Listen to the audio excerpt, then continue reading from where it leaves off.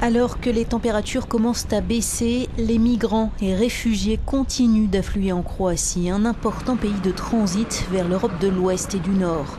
Ceux-ci viennent de passer la frontière avec la Serbie à bord de bus, un trajet pour lequel il leur a été demandé de payer entre 35 et 60 euros.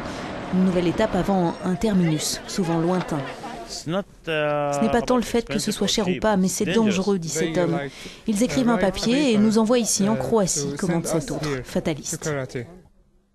À l'approche du froid, la Croatie s'attend à ce que des migrants empruntent une nouvelle route au sud-ouest de l'actuelle, via l'Albanie, le Monténégro et la région de Dubrovnik.